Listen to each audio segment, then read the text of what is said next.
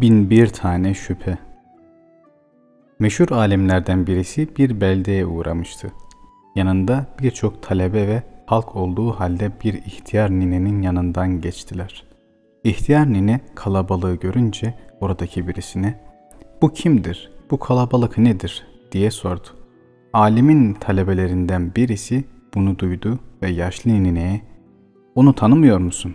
O Allah Teala'nın varlığı hakkında bin bir tane delil ortaya koymuş bir alimdir diye cevap verdi. Nine gülerek eğer onun Allah'ın varlığı hakkında bin bir tane şüphesi olmasaydı bin bir tane delile ihtiyacı olmazdı. Ben yüce Allah'a delilsiz iman ediyorum dedi. Bu söz alime ulaştı. Çok hoşuna gitti. Ellerini açıp Allah'ım senden şu ihtiyar kadının imanı gibi bir iman ve kalp safiyeti istiyorum diye dua etti. Sonra etrafındakilere benim gibi dininizi araştırın ama bu nine gibi de saf bir gönülle iman edin tavsiyesinde bulundu.